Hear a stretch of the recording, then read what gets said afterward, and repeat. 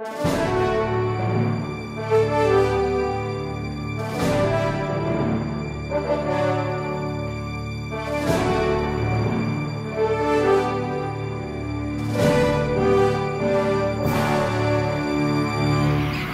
is the free camping spot, Ponto Falls Reserve, and it's just outside of Dubbo.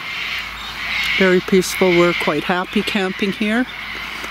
You need to be self-contained. Mm-hmm. That is one long drop and it's for the entire camp, but they do have garbage bins and a There's picnic camping table. all along the side of this river.